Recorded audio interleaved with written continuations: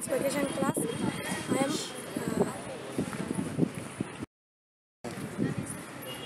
पाला पोसा मेरी माँ ने पकड़ संभाला माँ ने उंगली पकड़ कर लिखना सिखाया कर ठोकर उठना सिखाया माँ पहली गुरु है मेरी घर पहला गुरुकुल है सदा बसी है की मूरत माँ की सूरत माँ की ममता माँ का प्यार उसका कोई